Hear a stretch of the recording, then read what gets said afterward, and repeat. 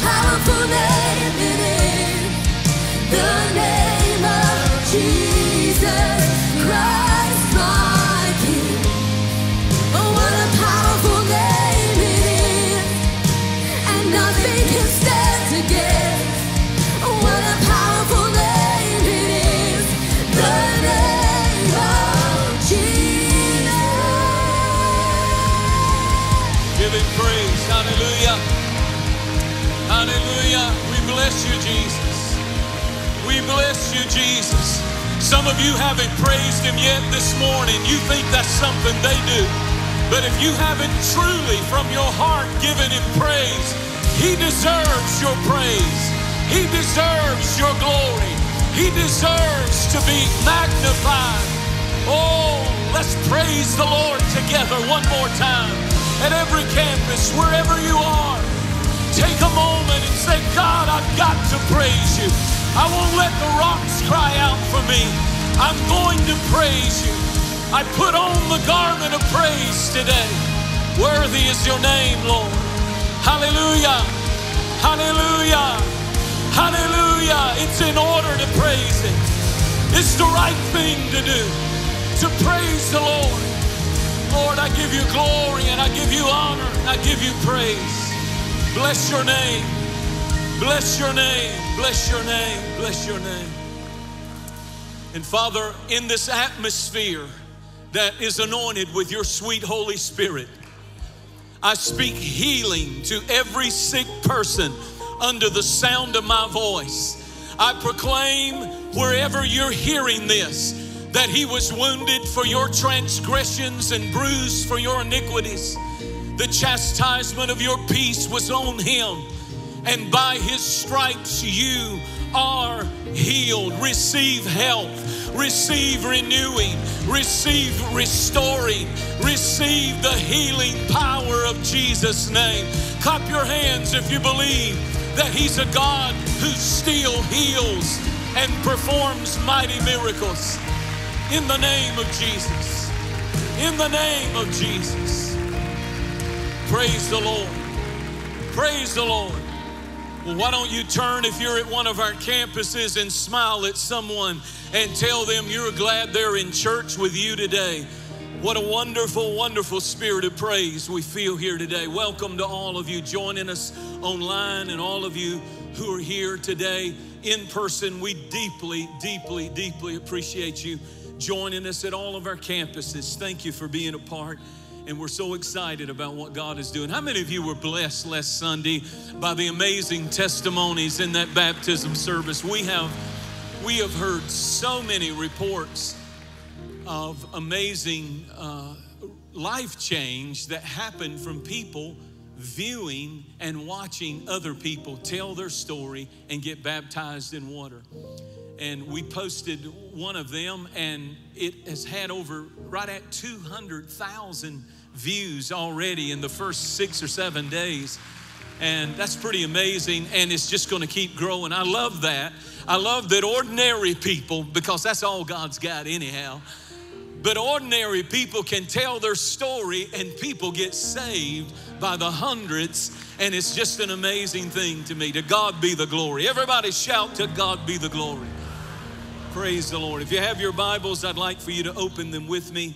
And I'm going to go for a few minutes today to the Old Testament book of Ecclesiastes. Ecclesiastes, the 10th chapter is where I want to go. And I have something new that I want to share with you today that I think will bless you and will help you.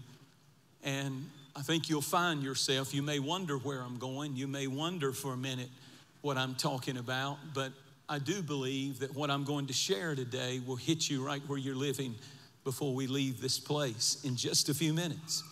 Everybody say, Lord, open my heart today. Speak to me today.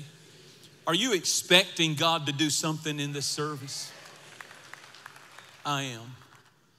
One verse of scripture, verse 1 of Ecclesiastes 10. Dead flies putrefy the perfumer's ointment and cause it to give off a foul odor, so does a little folly, a little, a little folly to one respected for wisdom and honor. Dead flies, the King James says, in the ointment causes a stench. Dead flies getting in the oil causes a problem. Dead flies make something precious like ointment. I mean, if you don't believe it's precious, you ought to read the story in the Bible about the woman who broke open the alabaster box, the scripture said, a precious ointment, and poured it on the feet of Jesus, and the Bible said it was worth a year's wages. I mean, it's precious, it's, it represents Jesus. It represents the anointed one, Christ. It's not about some perfume, some substance. It's about, it's always a picture of Jesus and how precious he is and how fragrant his presence is and attractive to people. When that woman broke open that alabaster box, it was what she used in her profession of being a prostitute to attract men. And when she broke it open and poured it on the feet of Jesus, she was saying, I'm never going back to the old life that I used to have. I'll never go back to what God has set me free from.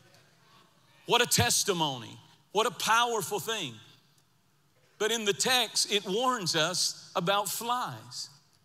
One of the names of Satan is Beelzebub, Lord of the Flies. He's, he's the head of the fly family.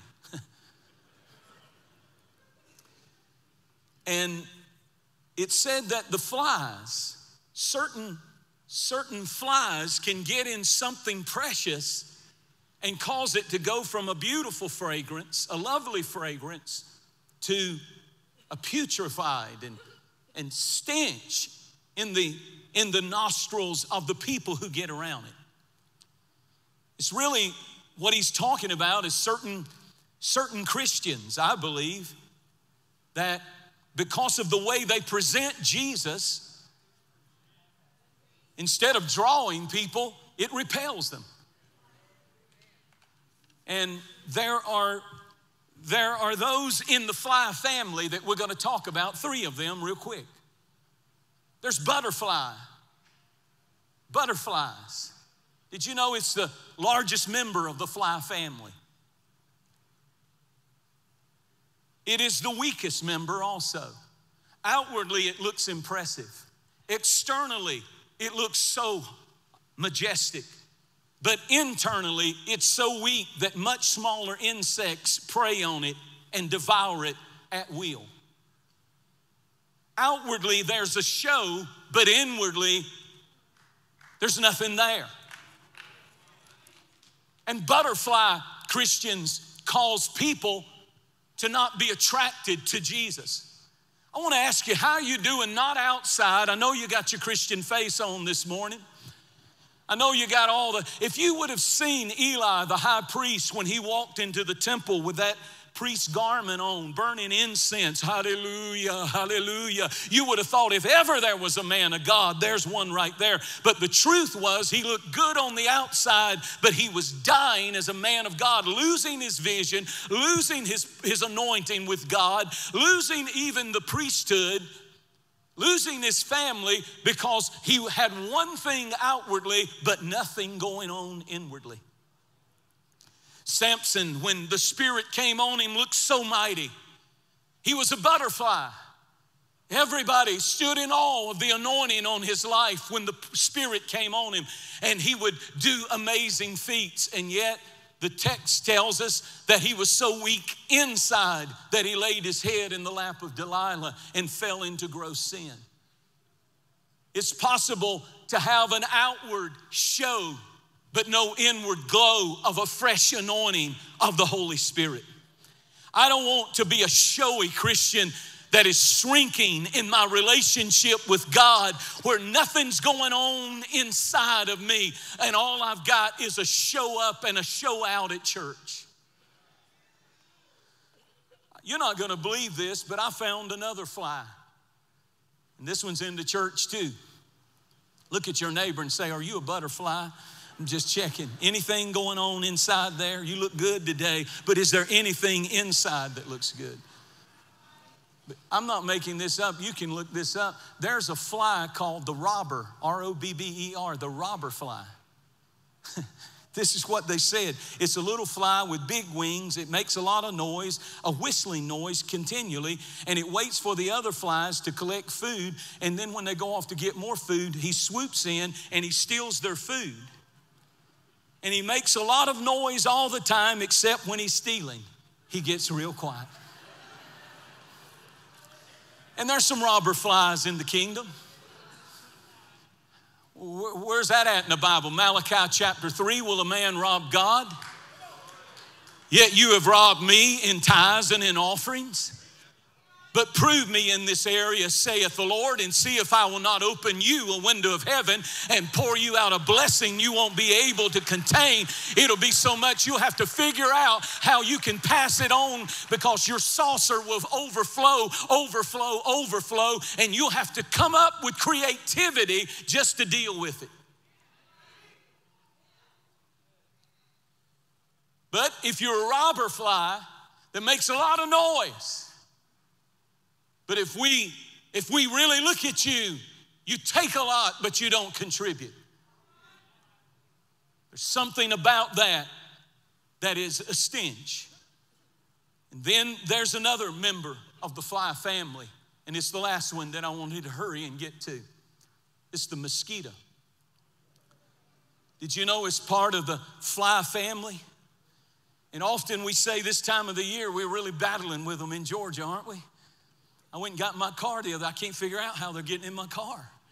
But I look on the windshield, almost had a wreck. I was fighting that get get away from me, trying to kill it in my windshield. We talk about the mosquito bite. But did you know a mosquito has zero teeth? It has no fangs, none. Well, how did I get that red bump on my ankle? He uses his tongue. He's got a long tongue. it's gonna get all right, just relax. It's like a needle.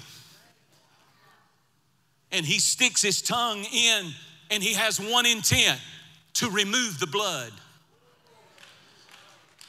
and he flies from per- once he uncovers and removes the blood and finds out about so- something about somebody he buzzes over to another christian and sticks that tongue in them and gets them good and poison and steals the blood. They start talking about it lose the anointing and everybody becomes gossipers instead of people who bear one another's burdens. A talebearer revealeth secrets but he that is of a faithful spirit concealeth a matter. They can be trusted. 1 Peter 4 and 8 love covers a multitude of sin. Love covers mosquitoes spread with long tongues. Isaiah said, Give me the tongue of the learned. That if I'm going to use my tongue, that I might speak a word in season to them that are weary. So I've been searching and I go on and start looking up every sermon I can find, everything I can find online about mosquitoes and what's the Bible say about mosquitoes. And it's interesting, I came upon something that I think we need to understand. If you go to these parks, especially in Florida, they've got water parks, they've got Disney World down there, they've got all kinds of uh, parks where they attract masses and masses of people. The amazing thing about them is that whole area where there's 30,000 hotel rooms and the park that is known as the happiest place in the world attracts millions and millions of people from all over the world. It's built literally on a swamp. Before it was there, it was nothing but a swamp, and they built it up, but it's still surrounded by nothing but a swamp. And the thing you need to understand is when it's feeding time, these little insects will take five millionths of a liter of blood during a feeding. All mosquitoes are after one thing they're after blood. They can fly 1.5 miles per hour. And the world, according to Guinness Book of Records, the world's most dangerous creature is not the black mamba snake in South Africa that I've seen before. It's not the puff adder. It's not a lion. It's not a grizzly bear. It's not a great white shark. The animal that kills the most human beings every year is the tiny little mosquito. It kills a million people a year worldwide. It's responsible for a million deaths. Obviously, when we understand that they have to be intentional about dealing with mosquitoes when they're attracting large amounts of people on top of a swamp. And the church is built, we're in the world, but we're not of the world. And we're built on sinners. But it's dangerous if we start letting what removes the blood get in and feel comfortable and lay its eggs in our life, in our family, in our home, and in our church. Galatians 5 in verse 9 says, This is a warning, a little leaven leavens a whole lump. It starts very, very small, that small, tiny little insect. Sin and mosquitoes have something in common. They both want to take away the blood.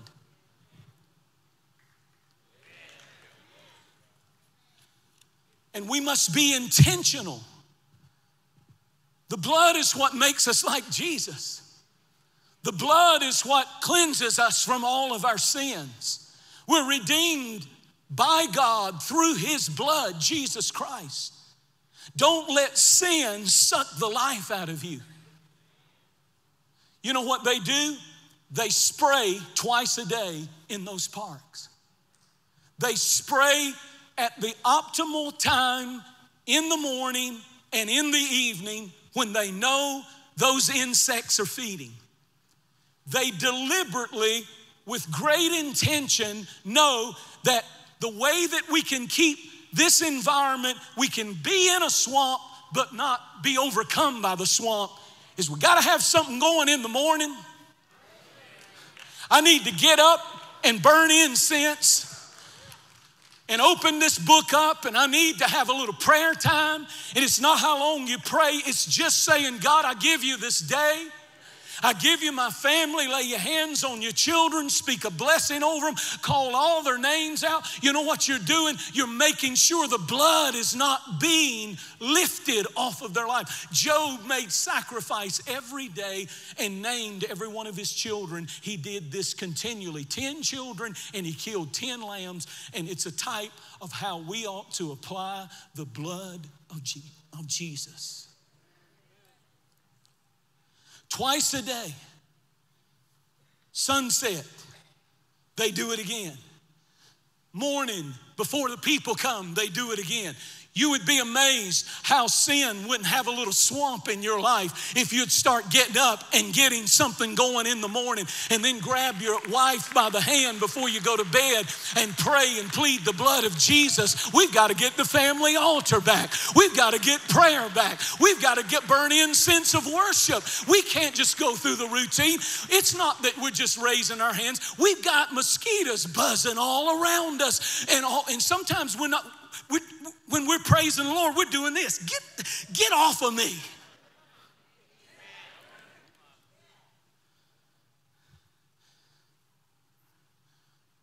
They paint a picture online about a world that doesn't have mosquito control.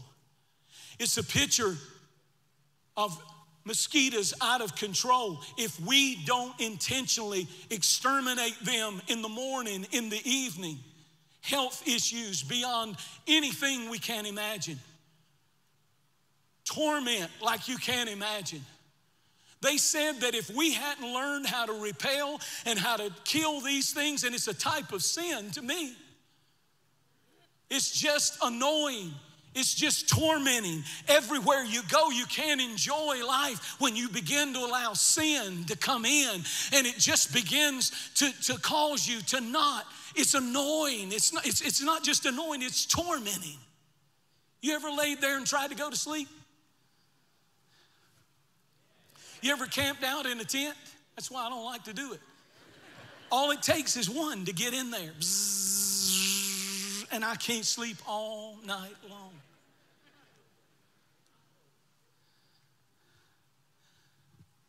What would the church look like without sin control? They have a program called Fight the Bite. well, what are we doing intentionally? They said even the buildings in those parks, even the buildings are designed in such a way that water will not collect anywhere in the park. They said the number one thing that they do to fight the infestation of larvae and mosquitoes and mosquito eggs being, being hatched all over that property is they make sure there's no still standing water anywhere. If there's water, it's moving. It's in a fountain, it's moving. They make sure there's movement going on in the water. Oh, you don't hear me. Exodus 29 and verse 38 said, Every day you shall put two lambs on the altar for a morning and an evening sacrifice. Every day, morning sacrifice. Every day, evening sacrifice. That is your worship. That is your word. That is your prayer. That is you taking time to acknowledge Him in all of your ways. You know what you're doing? You're killing that which wants to remove the blood, which wants to torment you, which wants to keep you confused and not hearing God's peace throughout throughout your day. It's the optimal time to do it. In the morning and in the evening. Just acknowledge Him. Just worship Him. Just give Him even three minutes of a family altar coming together and everybody acknowledging Jesus in this house. And then make sure there's no still water. I worry about our church. I get burdens, and I've been burdened because we've been through the pandemic and we still don't have all of our people back. They've just decided for whatever reason, and I understand if it's a health reason, keep doing it. But there's others who have just allowed the water to stop moving. The water represents the Holy Spirit. Jesus said, Out of your belly will flow rivers. You can't let it get still, you can't let it get stagnant. You can't let because if you do, it attracts those those insects, those mosquitoes, and they lay their eggs in still water. If you've ever been to any of those parks, as soon as it rains, they run out with those little pushing those things. Get it out of here. Get it out of here. That's what I'm doing. I'm saying, get it out of your life. Get it out of your life. Don't let that. Oh, it's just a little thing, Pastor. It's just a little thing, but it's re, it's trying to remove the blood, not just off you, but off your children, off your family, off your marriage. You gotta. It's you don't be a butterfly. This big outside, religious, known, but nothing going on the inside. Water has to always flow.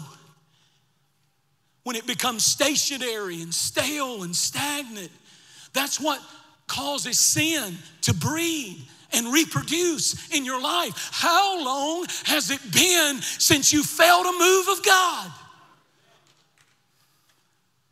How long has it been since you wept and you cried and you prayed in God's presence? I'm not a crier We'll let you get bad news today and you'll cry. You just don't have enough motivation. I'm not a shouter. Sit on a pen and you'll shout. You just don't have enough motivation. And when you learn who He is, He'll move you. He made you emotional, and you won't just use those emotions for a ball game. You'll use them for the King of Kings and the Lord of Lords. I need some people to get a get a river flowing again. Get to moving again. Get to hungering and running and chasing after God. Still and stagnant would describe much of the body of Christ. We're supposed to be a flowing river. Instead, we're a swamp. Don't lose it. Don't lose the river. Don't lose it. The Bible said in Genesis, the first thing the Spirit of God did in the third verse of the Bible, and the Spirit of God moved upon the face of the water. If the Spirit's in a church, there's going to be some moving. I'm not talking about just physical, I'm talking about you get moved in your core. You hear these testimonies, and before you know it, you're embarrassed. You're a big old grown man. You got tears coming out of your eyes. Something's wrong if you don't ever get moved in God's presence. Something you it ought to disturb you because whether you realize it or not, you are becoming a breeding ground for sin to lay its eggs and reproduce.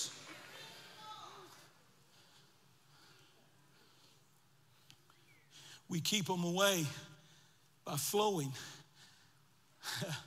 you remember the four lepers? That's what some of you need to ask the question why sit we here till we die?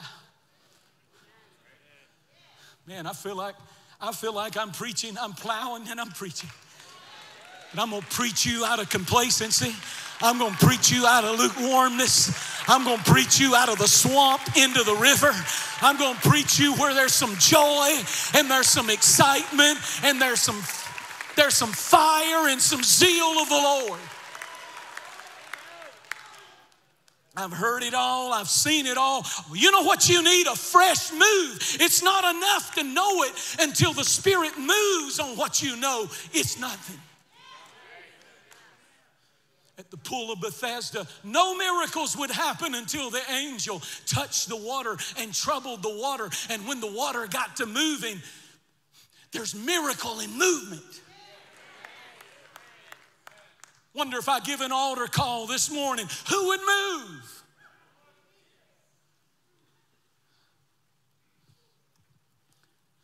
Rather than try and kill all the adult mosquitoes, why don't we stop them from having a breeding ground to lay their eggs right in our life every day because we are not intentionally keeping sin out. We're letting any and everything come in and take the blood, take the blood, take the blood, take the blood. You know what else? I'm not making this up. They said the way that they keep, not only do they keep the water flowing, but they said they keep fans going all the they have massive fans that you can't even see. And they have fans going all the time that are blowing the air because the mosquitoes can't fly but a mile and a half uh, you know per mile per hour.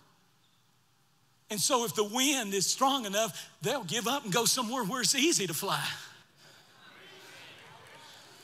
Well, Acts chapter 2 said on the day of Pentecost, when it was fully come, there came a mighty rushing wind. Like the sound of the Holy Spirit. When the Holy Spirit is blowing, when the water's flowing and the wind is blowing, that's not, that's not breeding ground for sin in our life.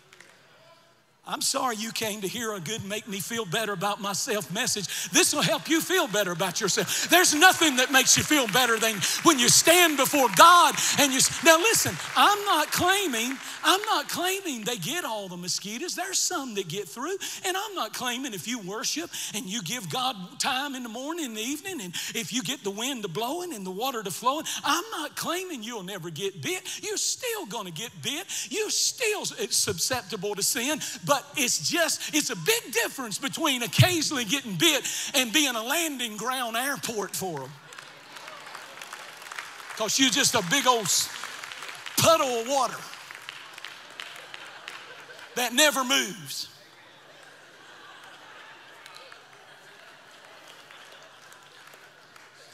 We're going to take a praise break. You need to get your dance back. You need to get your shout back. I don't care if you're Baptist, Methodist, Presbyterian, Church of God, Assembly of God. You better get a move going on inside of you. You've got to have more than outward religion in an hour like this. You've got to have something real. You've got to be intentional about guarding the culture of your life.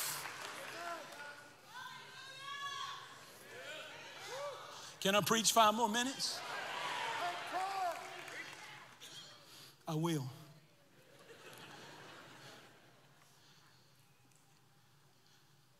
You know, they designed those buildings.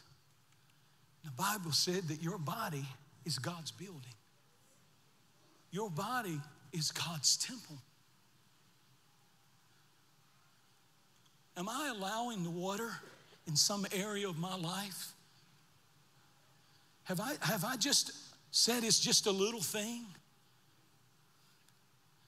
Because once you start doing that, you'll have puddles all over the place. Where sin is attracted more and more to lay its eggs, its lies, its deceptions, its compromises, its carnality. And you're not walking in the Spirit. I just I just think it's so important, and I'm coming to a close, but what blessed me was when I looked at Ecclesiastes chapter 10, it showed me something. It showed me that the number one repellent, notice how the text starts dead flies in the anointing oil. There's one thing that'll kill them every time when the anointing of the Holy Spirit brings a word and a preacher gets up and preaches under the anointing, it starts killing flies. Butterflies and robber flies and mosquitoes that are trying to steal the blood and lift the blood off of our lives. The number one repellent against the attack our, our, our character, our name, our family, our marriages. The number one thing is David said in Psalms 92 I shall be anointed with fresh oil. Isn't that something? You know what else I heard somebody say as I was studying, listening, reading? They said they even put chickens in coops all over those parks, back behind the, the fences. You don't see this. As an act intentionally, because chickens have an immunity to the diseases those insects carry. But they check their blood frequently. Because if West Nile is in that area, if Zika is in that area, it'll show up in that chicken blood. And they know to concentrate more on that area because it's a little It's, it's, it's a little compromised right now. Oh, proud, arrogant Simon Peter said, Lord, the others may, he threw him under the bus, the others may deny you, but I'll never, I'll never get drunk. I'll never get high. I'll never do this and do that. Be careful when you start saying, I'll never. Jesus had a strange response. He said, Before the rooster crows three times, you will deny me.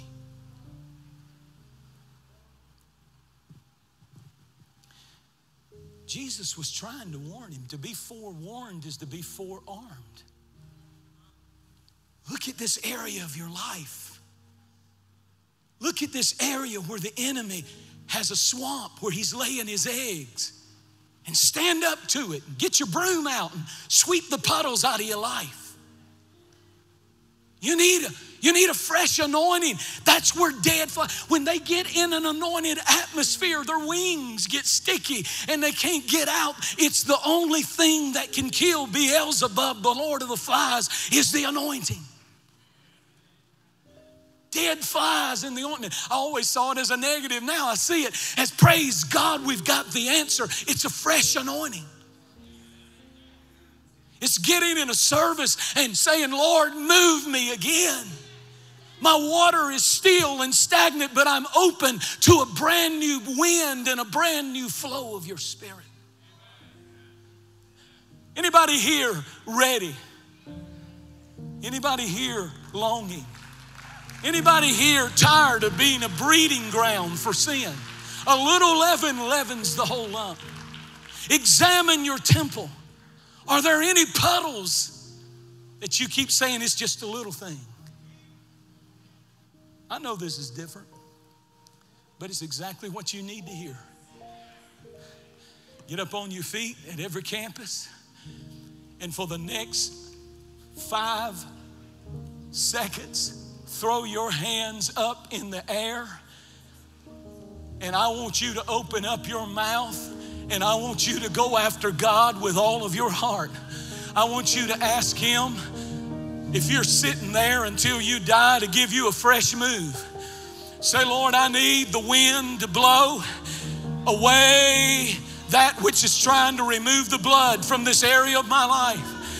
You may have a struggle. I'm not saying the enemy won't ever bite you there again, but I'm telling you, you can get rid of that swamp. You can get rid of that larva. You can get rid of those eggs. You can have a fresh encounter with God on a Sunday morning that can change your whole outlook. Come on, church, lift your voice and praise Him. Lift your voice and praise Him. Lift your voice and praise Him. Lift your voice and praise Him. Take a moment. Take a moment. Take a moment. Anybody hungry for a move? I want everybody in this church, anybody in this church who and first of all, I'm not preaching to you, I'm preaching with you. I'm hearing God just like you. And something in me says, I want the water to be troubled again in my life. Anybody feel that? Get out of your seat and come to the altar. Get out of your seat and come to the altar. It's been too long since we had a mighty move of God. It's been too long since you felt the fresh wind and the flow of the Holy Spirit. Come make a fresh commitment. Come get a fresh anointing. Come get a fresh anointing. Everybody raise your hands and say, Lord, I want a fresh anointing. I don't want an outside butterfly, churchy, religious thing with Jesus. I want a moving on the inside of me.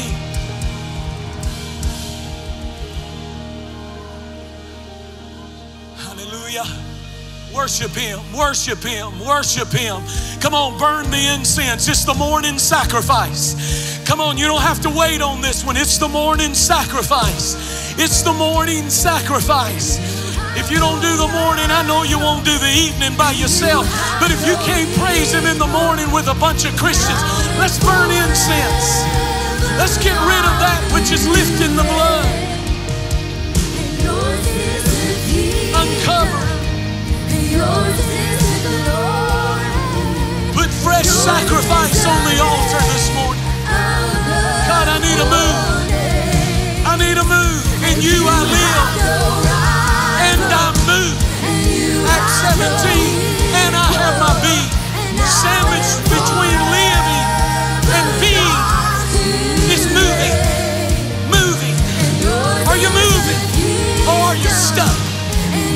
Ask God to send revival to your house, revival to your soul, a river of living water. Come on, worship Him, worship Him. Burn incense that repel the enemy. He's anointing you with a fresh anointing this morning. Hallelujah. What a powerful name it is, and nothing, nothing can stand against. Come on, church, sing it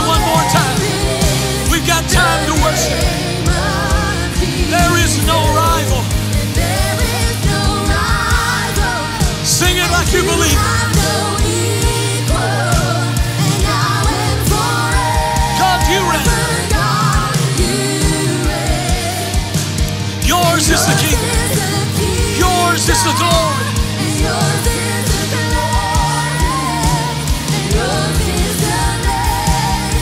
So now you understand worship isn't just something you do before the preaching.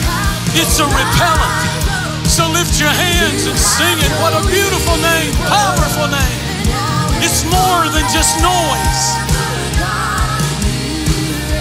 It's a weapon.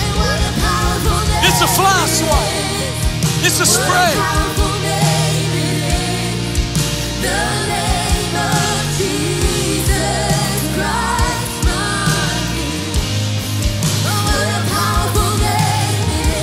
Hallelujah.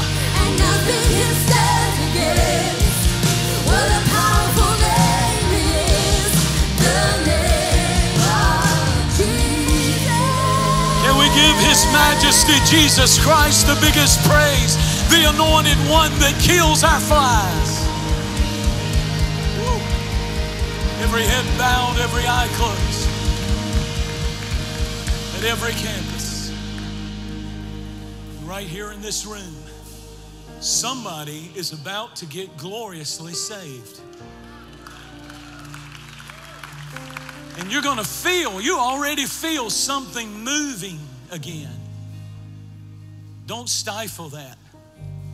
If you'll draw nigh to God, He'll draw nigh to you. If you'll ask, you'll receive. If you'll seek, you'll find. He'll give you peace. He'll anoint you today with fresh oil. He'll write your name in the book of forgiveness, the book of life. You can leave here with dead flies in the oil. And you can start a brand new life in Jesus Christ. How many of you know that's the truth? Every head bowed, every eye closed. You say, I'll do it another time, but this is your moment. This is your time. I won't embarrass you, I won't humiliate you. I'm going to pray for you. And I have faith because I know how to pray. I use the name of Jesus, and that gets me through every time. I'm going to pray for you, but He never comes where He's not invited. Pastor, pray for me. I need Jesus to be Lord of everything. I need some things swept out of my life. I need some flies to die this morning in the blood and the anointing of Jesus Christ pray for me. If that's you and you're ready for change, raise your hand as high as you can get it right where you're standing. Raise it high and unashamed. It's powerful, powerful, powerful. High and unashamed. Beautiful, beautiful, beautiful. Keep your hand right where you got it. If you're standing around somebody with their hand raised, gently just lay your hand on their shoulder. It's an act of support. You got a group up to grow up. You got to get around the right people. And right where you're standing, there's some good people that are praying for you. Now, everybody, say this wherever you are. Say, Lord Jesus, I receive today this word from the Lord. And I receive the anointing that is coming to my life right now. Kill the flies, the flies of addiction, the flies of shame, the flies of condemnation, the flies of guilt. Set me free and give me a new beginning and a new life. And today, I receive the moving of the water. I receive the river of living water, Jesus Christ. Now just begin to praise Him one more time and say, Thank you, Jesus. Thank you, Jesus. Thank you, Jesus. Well, hallelujah. Can we give God a mighty praise?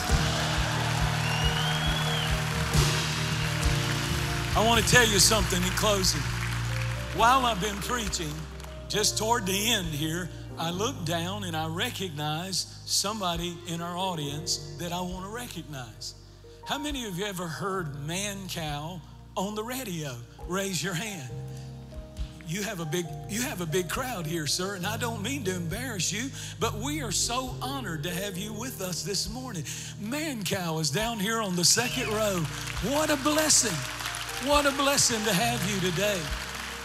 And may God give you a fresh anointing, sir.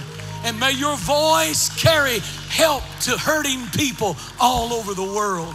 God bless you. Are you glad you came to church today? Next Sunday, I want to tell you something. Next Sunday, the one and only, the unbelievably anointed and powerful Reggie Dabbs, right here at Free Chapel. If you've never heard this man play the sax and sing, that's why I like him. Play the sax and preach. You are in for one of the greatest treats of your life. I've never heard him miss. I've never heard him not bring a now word from God. And now here's the blessing. How many of you are not going to be robber flies this week? How many of you are going to give the Lord your tithe and your offering? Come on. Don't give him the outward show, but and remember, we have a miracle going on. Oh, by the way, you uh, next week we'll announce exactly where we are.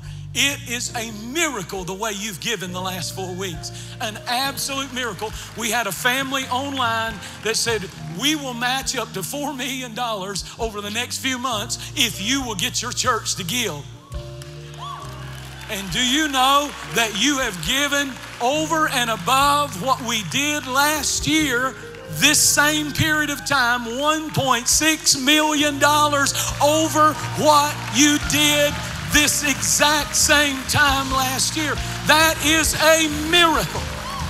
Come on and clap like God's going to win some souls. God's going to help us do some things we've only dreamed of. So we're almost halfway. So remember, every dollar you give, and it doesn't count till we get over whatever this was last year. Once we reach that threshold, anything over that, it kicks in. So everybody has a part in this. So if you were ever going to support the church, do it now. God will bless you. Are you ready? And now may the Lord bless you and keep you. Make his face shine on you, be gracious unto you, lift up his countenance upon you, and give you peace. And every one of you that raised your hand, go back to the Connection Lounge and tell them you prayed. We've got a devotional, we've got a Bible, and we'll get you signed up to get baptized in water. And we can't wait to hear your story. We love you so much. God bless you. Have a great, great week, everybody. Burn and put those sacrifices on the altar. Watch what a difference it'll make. In the morning, in the evening, set your alarm and just take five minutes, five minutes of a devotional, five minutes. You'll your day will be filled with more of Jesus if you just make a little room. Evening and sunrise. Watch what God will do. We love you. Be blessed, everybody. Walk in victory this week. Walk in freedom this week. Walk in joy this week. Be blessed.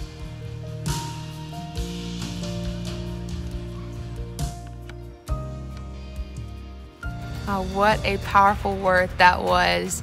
If today you made the decision to be saved, first off, we want to say we are so proud of you and we are so excited for you. Please feel free to text Amen to 313131 so we can get connected with you and help you out with some next steps in your spiritual journey. Also, we want to get you connected into the online family, so please go to freechapel.org slash online and you get connected right there. Also, please feel free to put your prayer requests in the chat. We've got a team of people praying with you, praying for you, and praying over you. So that's all for our time with you this Sunday. We pray you have a blessed Sunday, and we'll see you next week.